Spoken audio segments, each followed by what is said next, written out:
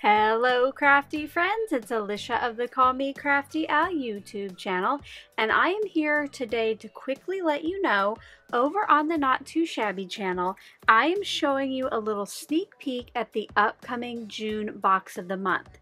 And I made this fun shaker mermaid theme that has sand and sequins in the little windows.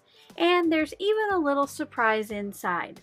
Now, if you're a channel member, make sure to check out our community tab, and I am providing a free digital cut file to make this wavy window if you want to try it yourself.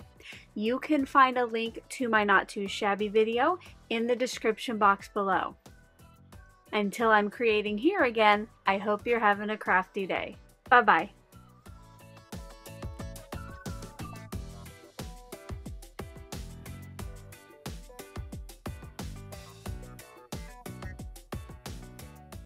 Thank you so much for taking the time to watch all the way to the end of the video.